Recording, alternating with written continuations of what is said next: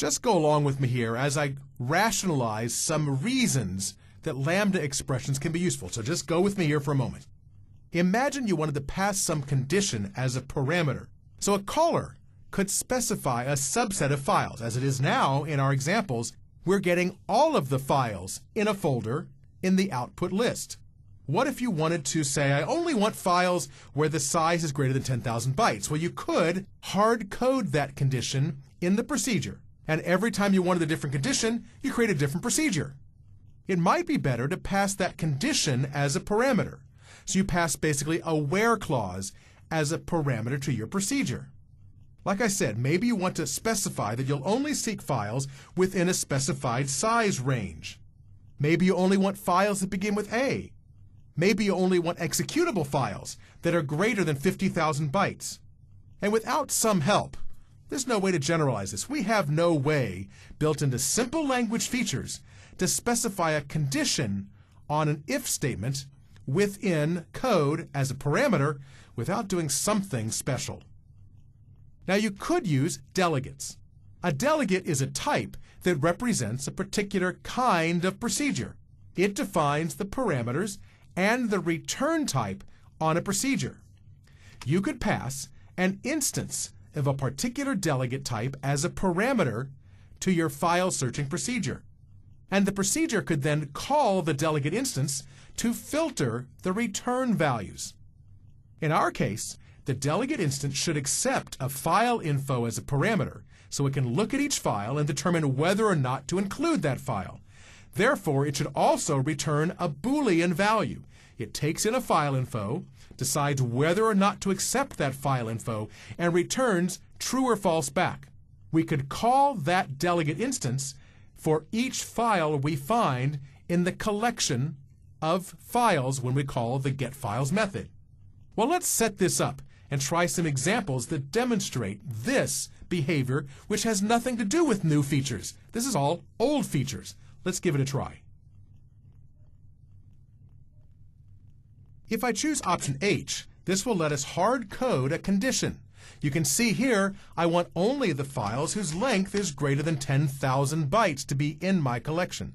So I have a condition, it's hard coded, and it works. I only get files greater than 10,000 bytes in the collection, but it means if I want a different condition, I have to provide a different version of this procedure. Here I got a shorter list, you can't tell, but it is shorter, and none of the files are less than 10,000 bytes. But let's try it now using a delegate instead to define that condition. Well, I have here a private delegate function file filter delegate, which takes as a parameter, like I mentioned, a file info object, and it returns back a Boolean. So whatever function this is that we specify will have to take in a file info object and return a Boolean back. We're going to pass an instance of that type. Here we have new file filter delegate, there's the type, and we supply to the constructor of that instance the address of a procedure to call. Large files looks like this. It says, I'll return true if fi.length is greater than 10,000 bytes. It's a procedure that accepts a file info and returns a Boolean value back. That means we can pass it to the constructor of that new instance of the file filter delegate and the code will compile. The same for small files. It takes in a file info, returns a Boolean, and returns true if the length is greater than 100. So here now, we'll call search for files, passing in the search path and our file filter delegate instance. Here you can see condition is that file filter delegate instance. Condition is just a method, and we can call that method. So everything's the same until we get to our condition. Rather than hard coding if fi.length is greater than 10,000, we say if condition passing fi as a parameter. Condition is a reference to, a pointer to, a procedure, and if I single step in, we'll go into that procedure. Even though our code said call the condition, the condition was defined to be large files, this procedure. It returns true. The next time through, it returns true, so we do add the file to our collection. And in this way, we've set up a dynamic filter you could specify the address of any procedure that met the criteria of being a file filter delegate object.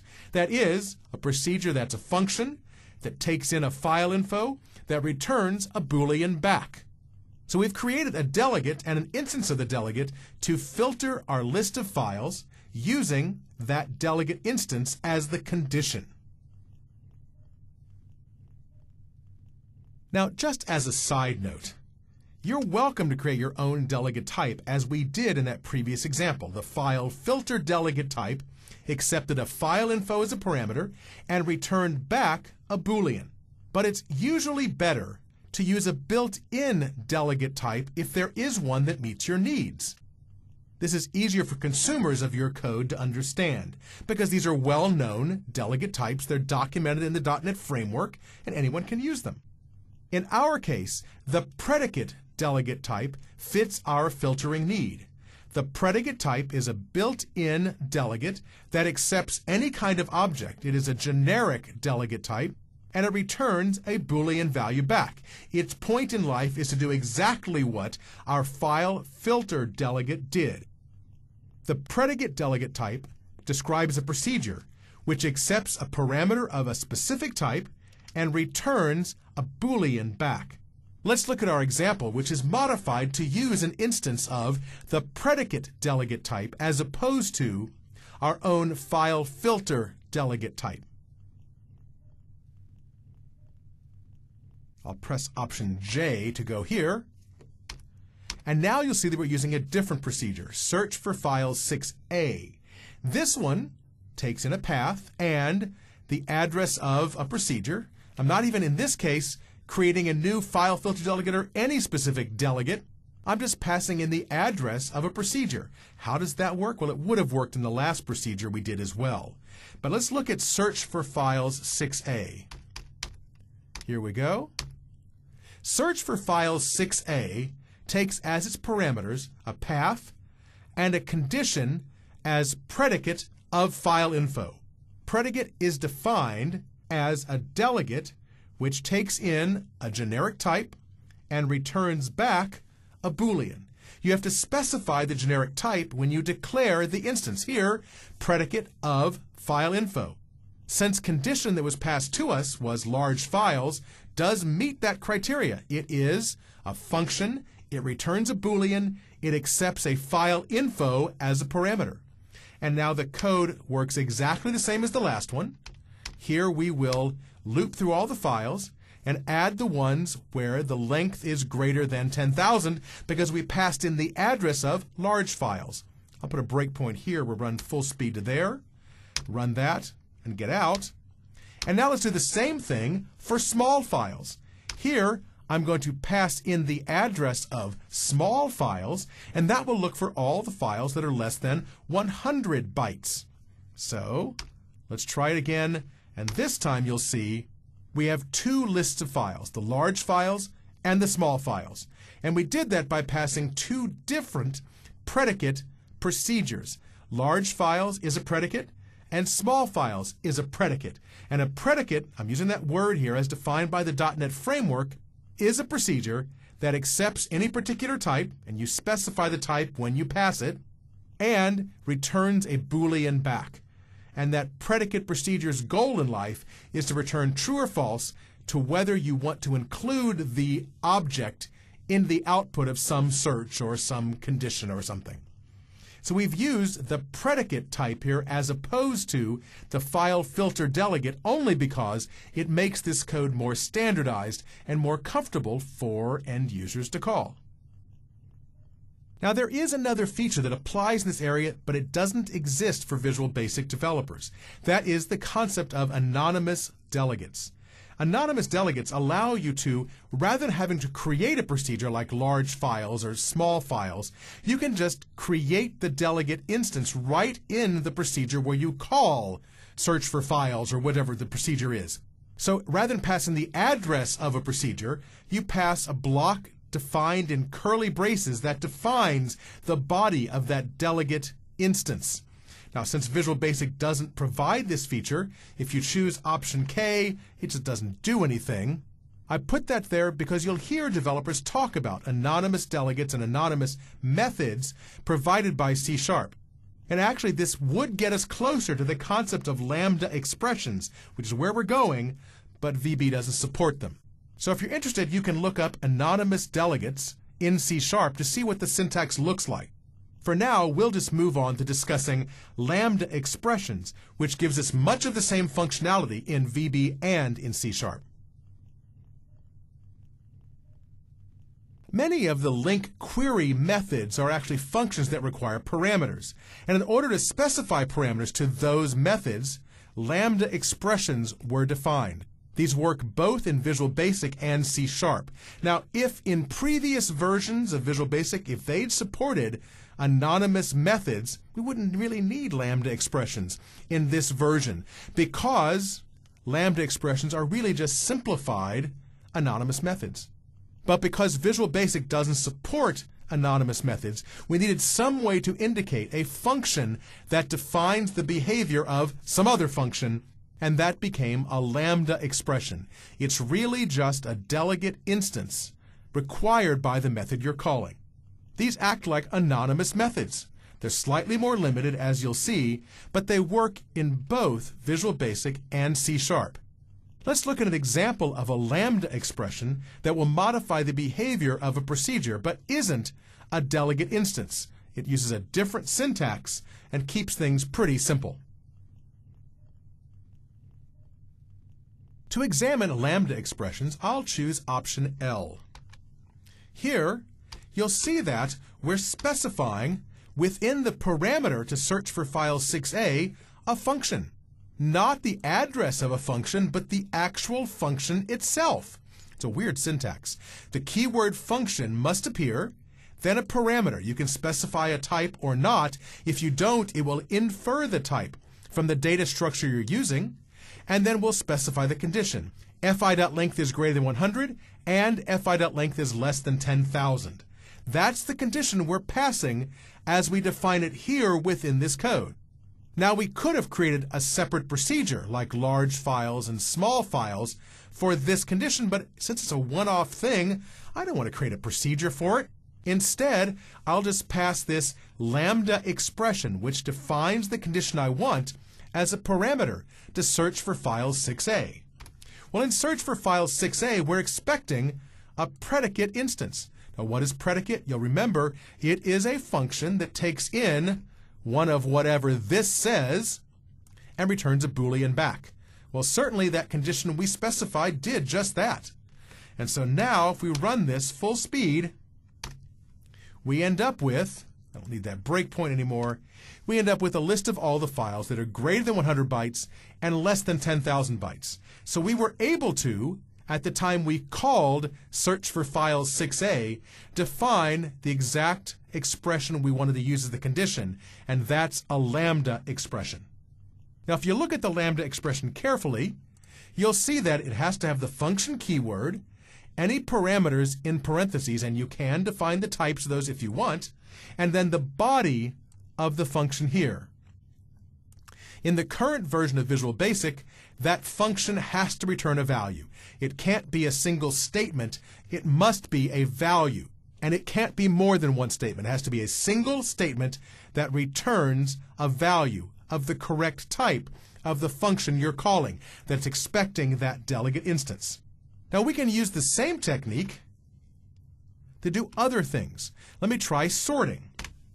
In this example, we're going to call, using the same parameters, a different procedure search for files 6b. This one does everything exactly the same as the previous one until we get to the display results procedure. Down here, we're going to not only display the results, we're going to order the files. Well, by what? How do you specify how to order these things? Well, order by appears to be a method of the list class. And if you've ever studied the list class, you know it doesn't have an order by method. Might have a sort method, but the list class does not have an order by method. Where does that come from then? Well, order by here is an extension method. It's provided by the system.linq.enumerable class, which provides methods that extend other classes. It has a method named orderBy that extends the list class. And the order by method requires as its parameter a function, a lambda expression that defines the criteria on which you'll be sorting. Let's stop debugging for a moment and let's look at this code. Well, certainly there is an order by method, and you can see the extension keyword, which indicates that this is an extension provided by some other class. Now, order by here expects as its parameter uh, a func, system.func. Not quite sure what that is, but if I specify here function, actually I do know what it is, we'll get to it in a minute, and pass in the myFileInfo object, I want to return true if myFileInfo I want to return the value on which I want to sort, which is mfi.length. So here we've specified a lambda expression here, which provides a parameter for the order by method. And if I run this and choose n, you see we do get the items ordered by length. It looks to be length descending. Let's make sure I ran the right example. I should have chosen M. Let's see if M, here we go. We're only looking at the files between 100 and 10,000 bytes. We come here, we're saying order by length, and we should get these in ascending order. Yep, I pressed the wrong key before. Our next example sorts them in descending order. Phew, that was going to be scary if things showed up in descending order, and yet we said to order by the length of the file. Well, we need to look at what that func thing is, because order by was expecting a parameter that is a func. Well, what is a func. Clearly, it must be some kind of delegate. Before we discuss that func thing, we need to talk about lambda expressions and delegates. You can pass a lambda expression to a procedure that's expecting a delegate. As you saw, it certainly worked. And to use a lambda in place of a delegate, the lambda expression must have the same number of parameters as the delegate. Well, in our case, we were passing a lambda expression with one parameter in the place of a delegate that was expecting one parameter. That was our predicate delegate. Each lambda parameter must be able to be converted implicitly to the type of the corresponding delegate parameter. In our case, the delegate was expecting a file info, and our lambda passed a file info. No problem. The lambda return type must be able to be converted implicitly to the delegate's return type. Well, the delegate returned a Boolean and our lambda returned a Boolean, so there wasn't any problem there. Now, in our example, we supplied sorting criteria, but we didn't supply it as a parameter. We just supplied it built into the method call to that order by method. Now, we could call the order by method in code. That's what we did and pass a lambda expression specifying the sort behavior. We'll learn more about extension methods in just a minute. But the orderBy method is supplied by the linq.enumerable class as an extension to the list and other classes. We've already seen that. Extension methods are created in one class and they extend another. So although the method orderBy is defined in the linq.enumerable class, it extends the list class and other classes as well. But you might want to pass that delegate, the sort order, as a parameter. And if you look at the orderBy method, it expects a func as a parameter. You need to supply a function that determines the sorting order. Well, func is just a delegate type that does the job. Now, it is a generic delegate, so it has a parameter named t that refers to the incoming parameter type. And in the func definition, t result refers to the returned type. So we're going to look at, again, the example we just saw and examine that func declaration, and then look at an example where we pass an instance of the func delegate type as a lambda expression from the calling procedure. Let me get out of run mode here and go back to our procedure and review what this order by thing is expecting. If we look at order by here, it's expecting a func of my file info, and a T key is the key that we're sorting by. So here, the key selector is the name of this thing. It is a func, and it needs to be a lambda expression, which takes in some parameter, and then returns back some information about that parameter. In our case, it's the length. That is a func. We now have a version here, search for file 6c, which takes in a condition for filtering and a func for sorting. Long here indicates the type we'll use as the sorting criteria. And down here, when we call display results, we'll just call order by passing in that sorting variable, which is a func of my file info, comma, long. My file info is the type coming in, long is the type going out. That's how func is defined. So down here, we just pass sorting, and that's it. Well, how do we call this thing? Let's see. I'm looking at option N, lambda parameters for sorting. In this example, I'm going to pass in for the filter, again, files greater than 100 and less than 10,000. But for the sorting, I'm passing a func, which takes in a my file info instance and sorts based on the negative of the length. What does sorting based on the negative of the length do? Well, that sorts in reverse order. It uses the opposite of the length, negative of the length, as the order in which it should sort these items. If you're sorting them from lowest to highest, and you're sorting by the negative of the length, the largest file will go first, and the smallest file will go last. And here we'll step into the procedure. Everything's the same till we get down to our display results method call. And here, sorting is a func we're using to define how to do the sorting. And you'll see that we sort in descending order. Now, I'm not going to change I'm not going to change this procedure at all. I'm going to change the procedure that calls it. Here, see if we can find that thing. It's up here somewhere. Here it is. I'm going to change this so it doesn't sort on the length, but instead sorts on the name. And now if we run this procedure, oops, it doesn't work. You know why it doesn't work? Because our procedure is expecting a func which returns a long back, not the name. So let's look at name.length. That'll be more fun. We'll sort on the length of the name.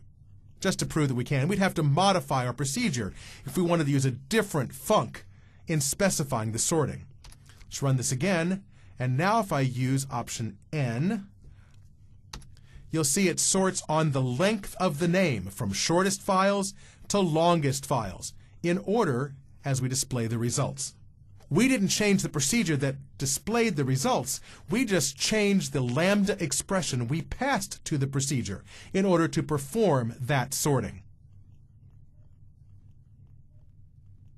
What if you want to calculate the total size of files in your list? You could create a method, a standalone method, that accepts a list as a parameter. It would then iterate through everything in the list and calculate the size. To use the method, you would have to know that it exists or use IntelliSense based on some class that contains it, but it certainly wouldn't show up as some method of the list itself. And that would be nice. Wouldn't it be easier if it was a method of the list class? Seems to me it would be. What we need to do is create an extension method that extends the list class that provides the sum of all the files in that list. So we're going to extend the list of myFileInfo class only so it can calculate the size of the files in that list. Now you may not yet have created an extension method. These add new methods to existing classes without modifying those existing classes. And although they were created for LINQ to make LINQ work, they're not just for LINQ, but they are crucial for LINQ. Extension methods have certain rules that must be followed. They must be declared as a public method. They have to accept a parameter, the type of which defines the class that you're extending. In our case, we'll be extending the list of myFileInfo type, so we'll have to accept a parameter of that type. Your extension method must exist within a module, and it must include the extension attribute so that the compiler knows that the method is an extension to some other class. Let's look at an example which extends the list of my file info type to calculate the total size of all the files in the list. Now, as I mentioned earlier, you don't actually have to create an extension method. You could just create a shared method of a class that uh, provides the sum of the files in a list, but you have to pass the list to it as a parameter. Let's look at the example that does that. Option O here. And you can see I have a search for file 7, and it, oh, what's the condition? Oh, this is tricky. I have a condition that says just true.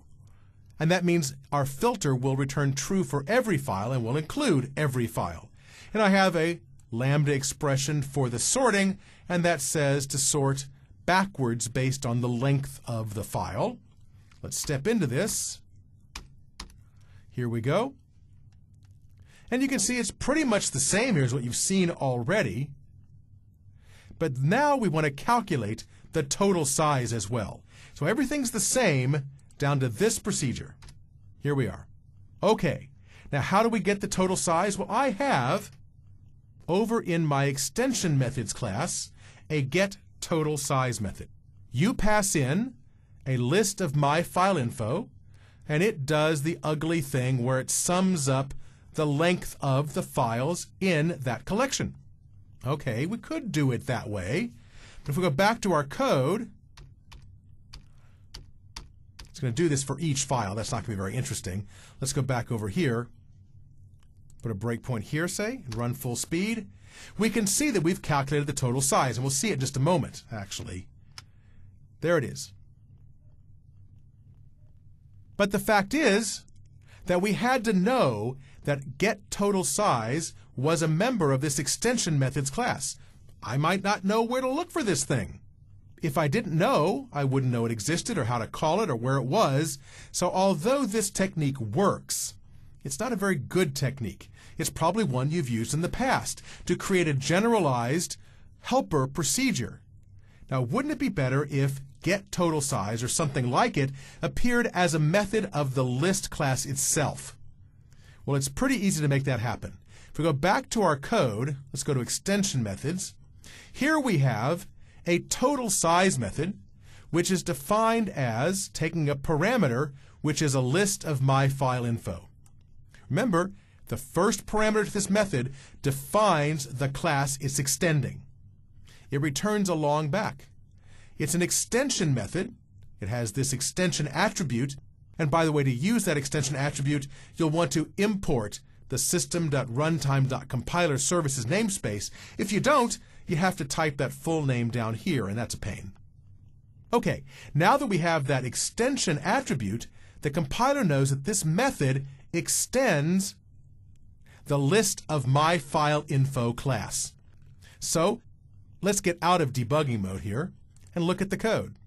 Go over back to our procedure here and look at the search for files 7a procedure here. Notice here we called files dot total size. Total size becomes a method of the list of my file info class. You can see even the keyword extension appears in the IntelliSense there. Oops, there we go. Extension appears in that keyword indicating that this is an extension method and has a little blue down arrow indicating it's an extension method.